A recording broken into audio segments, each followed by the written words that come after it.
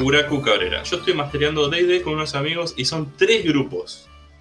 Pensaban, pensaba que todos estén en un solo universo pero en diferentes tiempos. ¿Alguna idea de cómo hacer? ¡Wow! Tres grupos, bien. Eh, en diferentes tiempos.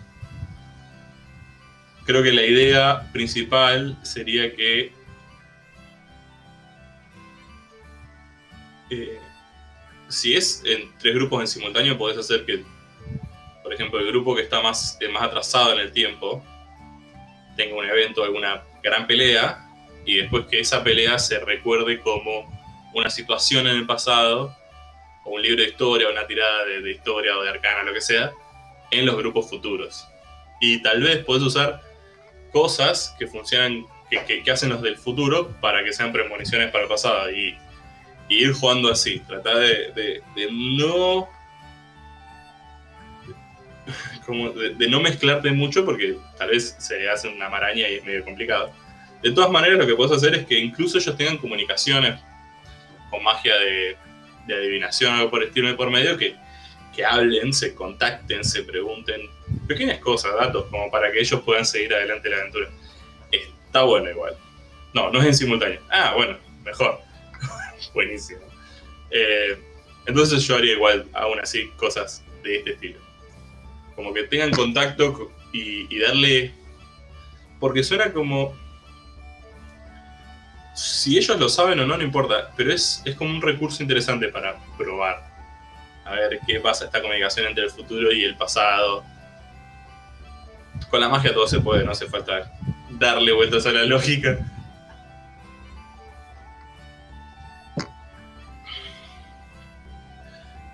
Pero está interesante. A mí me gustaría con tres grupos hacer un crossover de tres grupos de personas, dirigir un combate a 15 personas y después tomar unas vacaciones. Pero esa idea que de cómo lo estás haciendo está genial. Gus, León, ¿cómo haces para escribir y planear tus aventuras y campañas? Quiero empezar a hacerlo yo, pero no tengo mucha idea de cómo. Bueno, eh, está buena la pregunta. Tenemos unos videos de cómo crear campañas y cómo narrar historias. Y, y yo escribo de, atrás para, de adelante para atrás. Digo, uy, este final estaría buenísimo, por ejemplo. Eh, de atrás para adelante, gracias. Eh, quiero que el combate final sea en un castillo derrumbándose. Bueno, listo. Entonces, yo ya sé que tengo un lugar que es un castillo que se va a derrumbar. Y va a haber un combate ahí. Y probablemente sea contra el enemigo principal del grupo. Entonces yo creo que ese sea el final. Todo lo que escribo hasta llegar ahí es eso. Cosas que necesito que pasen hasta que llegue ahí. Por ejemplo, cómo se va a destruir el castillo. Necesito que alguien me lo, me lo haga explotar o, haya un terremoto o, que algo genere un terremoto o que, alguien invoque gusanos púrpura que pasen por abajo del castillo para que se caiga. Eh, esa es buena idea. Bueno, ¿quién puede invocar esto? El, el, enemigo este, listo. El enemigo este contrató un druida malo, listo, necesito un druida malo. Para contratar al druida malo va a estar en el bosque perdido de no sé qué. Entonces, ¿ves? Así ya me voy creando, me voy construyendo eh, castillos o lugares me voy creando personajes enemigos, me voy creando motivaciones. Y así todo sigo hasta que sucede la primera sesión. Parece más o menos lineal, obviamente después nunca es así, yo creo estas cosas y, lo que mejor puedo hacer después de crearlas es, bueno, espero que salga bien. Una vez que los jugadores toman la palabra, ya la aventura depende más de ellos que de mí y van para donde ellos quieren.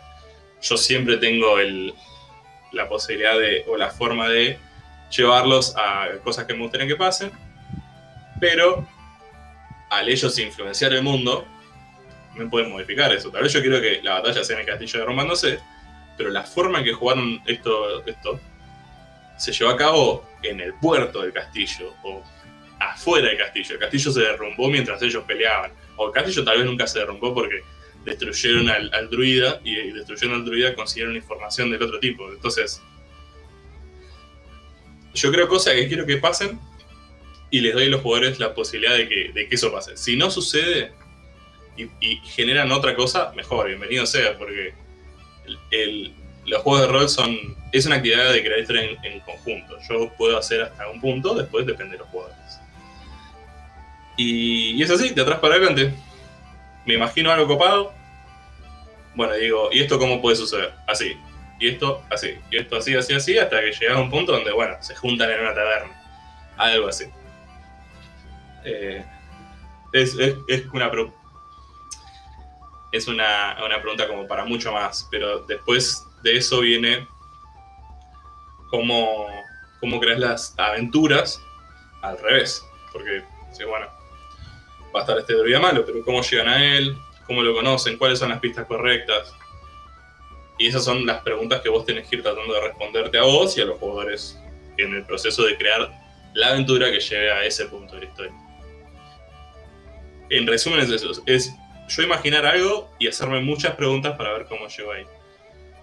Teniendo la flexibilidad de que tal vez nunca lleguen ahí, o nunca pase como yo quiero, o el- la aventura se fue, se fue para el extremo opuesto y vamos a ver qué pasa. Carl Ruprecht Kroenen. Buenas.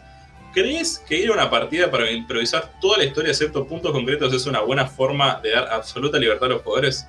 Yo muchas veces me voy improvisando el 90% de ellas. Sí.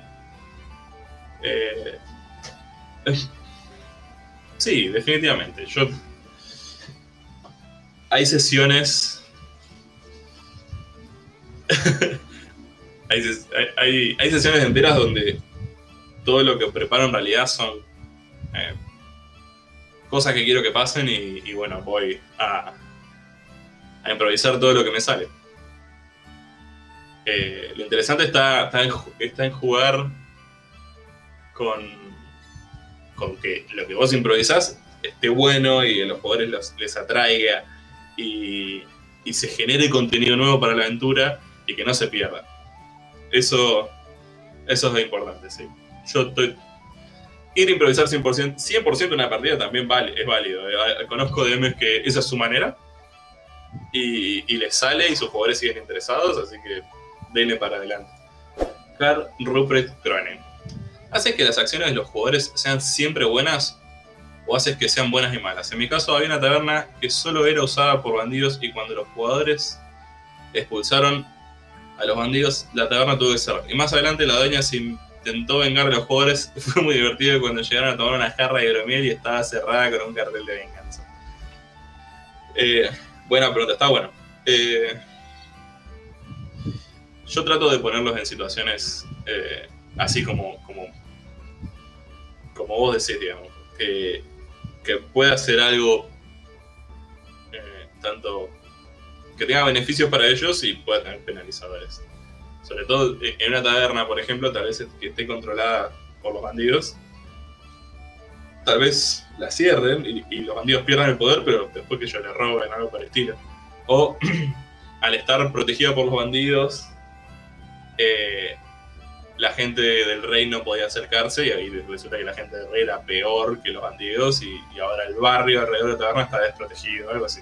Yo, yo intento hacer lo mismo para que haya dinamismo, porque si vos haces que sucedan cosas todo el tiempo, la aventura, la- sesión, no la aventura, la sesión, se carga de contenido y pasan cosas y hay desarrollo, y esa es la única manera. Yo rara vez les doy tiempo de descanso entre situación y situación.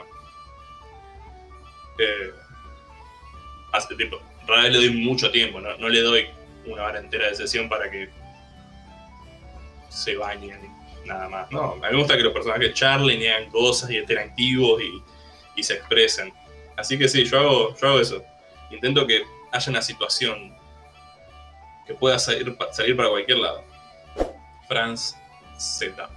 León, ¿qué tipo de DM sos? Me refiero a que si los dados tienen la última palabra o sos más del tipo protector con los personajes. Trato de buscar un equilibrio entre ambos dos. A veces lo, mejor que puede pasar es que el dado decida y tiro el dado y que salga lo que salga. Pero otras veces entiendo que los dados son complicados. Una vez me tocó ser jugador de un chico que quería empezar a hacer DM. Y él tiraba los dados y hacía siempre lo que el dado decía. Y nos estaba castigando. ¿no? Los combates eran todos, todos terribles. Y me dice, che, no sé qué hacer. Le dije- ¿viste cuántos críticos salen de ese lado todo el tiempo? Me dice, sí, Bueno. A veces. A veces está bien, digamos, que. eh, que el dado decida. Y otras veces hay que tener en cuenta, digamos, qué es lo que querés que pase. Porque a veces los dados- a los dados no le importa qué es lo que vos tenés pensado. El dado sale un 16, si es un 16, sale un 20, un 20, sí. Por eso, yo creo que encontrar un balance es lo que intento todo el tiempo y lo recomiendo. Justino Zampayo, buenas noches, señor DM. ¿Cómo va la cuarentena? Bien, gracias, gracias por contar, espero que ustedes estén bien también.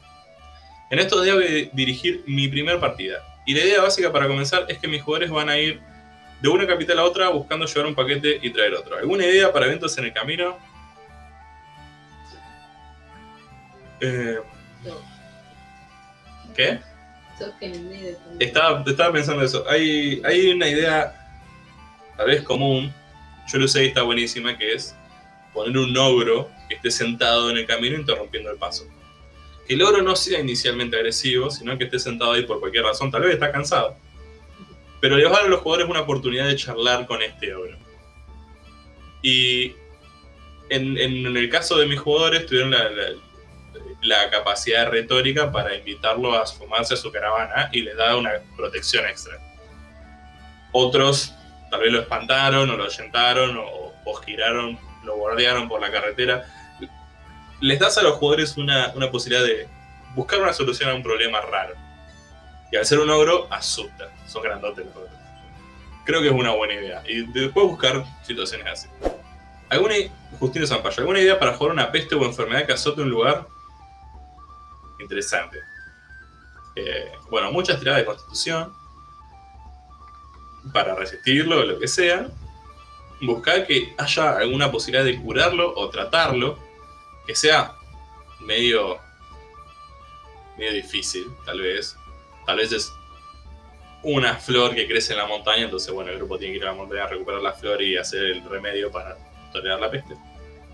O, o que haya algún alguna fuente, tal vez la peste es una gran pila de cadáveres con un cristal mágico que, que cada vez que pulsa suelta esta una ventisca de, de podredumbre y eso eh, enferma a la gente, etc.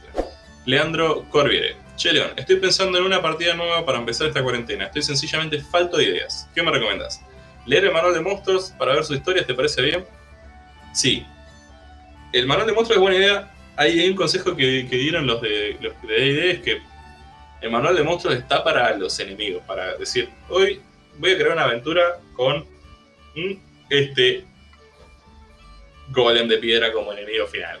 Bueno, y ahí trabajar con, para ver cómo ese golem de piedra es el enemigo final. Eso está re bueno.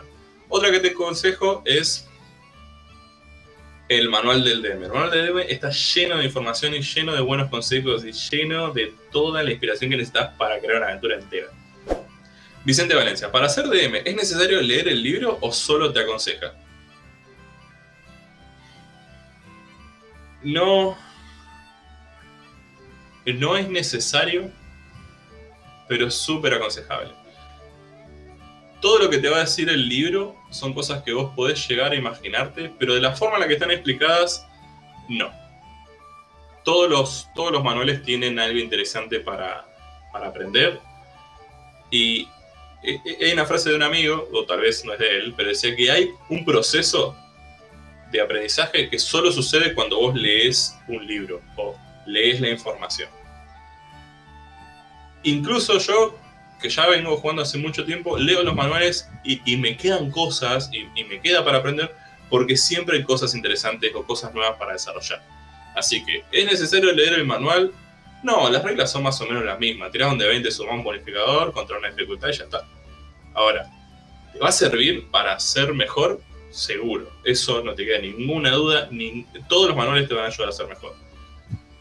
Eh, no hay ningún manual que vos lo leas y no saques nada de él. En ningún juego de rol. Todo sirve. Rápidamente. Tengo un jugador, José Quilpas, tengo un jugador que quiere capturar a todos los NPC importantes aliados como enemigos para crear su propio ejército. Se lo permito. Hacelo, pero con cuidado.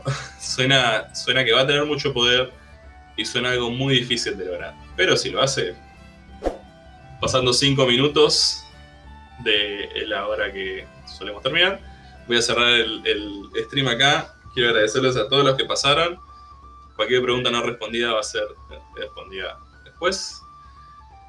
Y nada, gracias por pasar, gracias por las preguntas, estuvieron buenísimas, gracias por la comunicación que tuvieron entre ellos y toda la gente que se sumó al Discord, ahí estoy viendo que están charlando. Ahora yo me voy a descansar un ratito, pero mañana seguro estoy conectado.